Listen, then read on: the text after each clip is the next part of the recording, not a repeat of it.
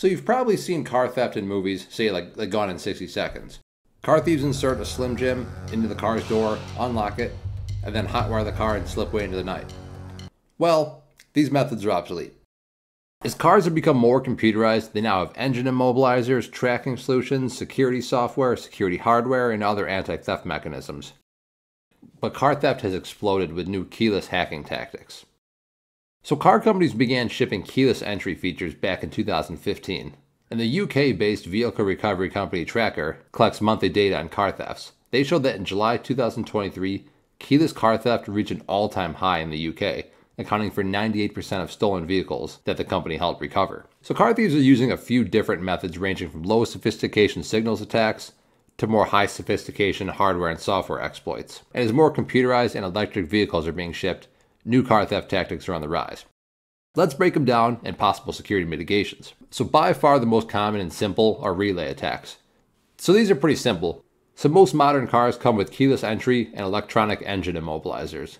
The engine immobilizer is essentially meant to prevent hot wiring, which is basically just rewiring the car to circumvent the key ignition switch that connects the circuit and starts the car.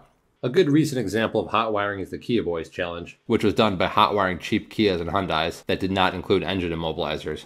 So keyless entry systems use key fobs that constantly transmit an RFID signal which has a range of up to 20 meters. To be more specific, they usually use RFID signals that operate around the Federal Communications Commission's prescribed 315 megahertz.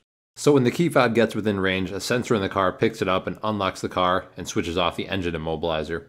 So let's look at this footage of a recent 2023 relay attack in the UK. Thieves basically use two devices to extend the key fob's range.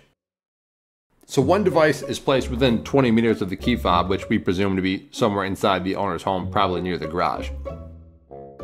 This device captures a signal and then acts as a relay to transmit it to the second device that's near the car, which then broadcasts that signal to the car, which tricks the vehicle into thinking that the key fob is close by and disables the engine immobilizer. So this is done with a software-defined radio, which can be bought online for as little as $100. Some of the more advanced ones will actually amplify the signal and bring it back to the original strength of the key fob. And also, so once the car is started, it won't stop when it no longer detects the key fob. As you can probably imagine, that's done for practical and safety reasons. If the key fob's battery dies, it would create huge problems, especially say if you're like driving on the highway or somewhere remote. And also the thieves usually record the key fob signal while they're relaying it, and then use reprogrammable key fobs, and then reprogram them with the original key fob signal, essentially cloning that key fob. But what about if there's a remote key that clicks to unlock? So this can add another layer of security. In this case, the key fob spoof signal will only be able to disable the engine immobilizer, so every time you click a remote key, a one-time rolling code is broadcasted. And this works similar to how TOTP works for MFA. The car and the remote key are synced with the same algorithm, so you must have the correct code. Okay, OTP or one-time password would be a better example, since those codes aren't always changing. Regardless, there's a vulnerability. And the vulnerability comes from the fact that the one-time code must be received by the car's computer in order for it to update its spot in the sequence of one-time codes. So criminals can place a small device somewhere near the car, so when the owner clicks the key, the device will jam the signal for the car while recording it. Since the car fails to unlock, the owner will need to click the key one more time. Since there is a specific order required, the device records the second code and sends the first intercepted code to the car. If necessary, more than one code can be blocked and recorded. And the stored codes can then be used later to unlock the car. And if it has remote start capability, start the engine as well. So the more conventional protection from relay attacks are Faraday cages and Faraday pouches, which basically block the key fob signal. But a handful of manufacturers are also introducing motion tags, which basically puts the key fob into sleep mode when it's left sitting for a while. Another interesting one is some manufacturers are replacing the standard RFID with ultra wideband.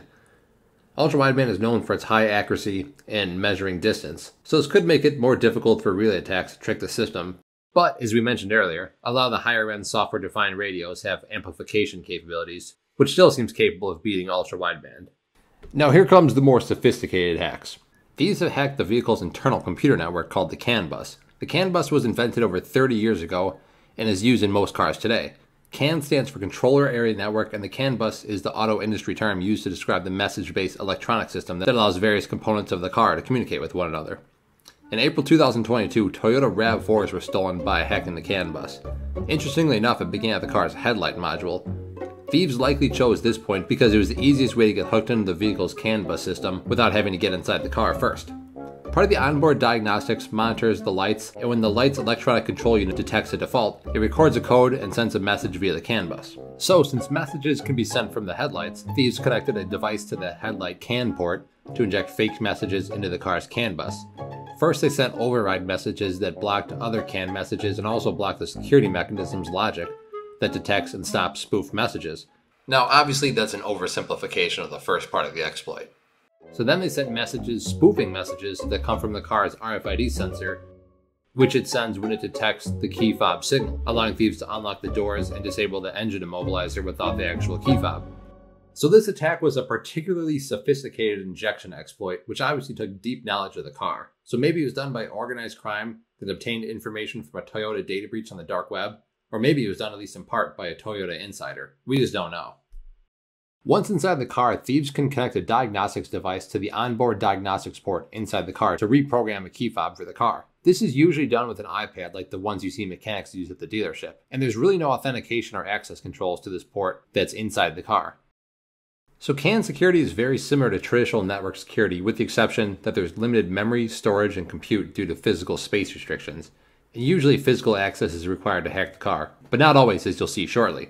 But like traditional network security, authentication, access management, segmentation, firewall, and other security controls are used to harden security. Teslas rarely got stolen due to their native always on advanced GPS tracking functionality and native internet connectivity.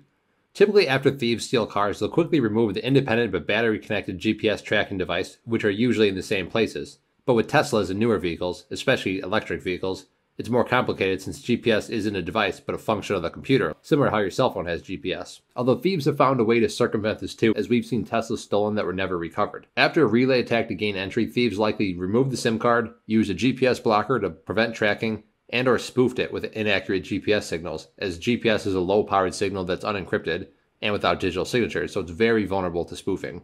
It's also possible to exploit a software or hardware vulnerability to disable GPS. Although Teslas are still a tough target, so most stolen Teslas are typically chopped up for parts instead of shipped away and sold in other countries. So what's becoming apparent is that more and more vehicles, especially electric vehicles like Teslas, are very much computerized IoT devices that have their own SIM card. So the CAN buses are accessible through either a cellular or SATCOM connection.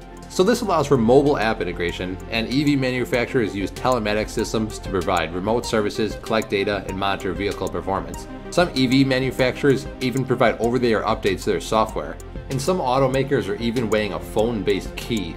All of these factors make for a massive attack surface, and the CAN messages can do things like disable alarms, unlock doors, and even start the engine.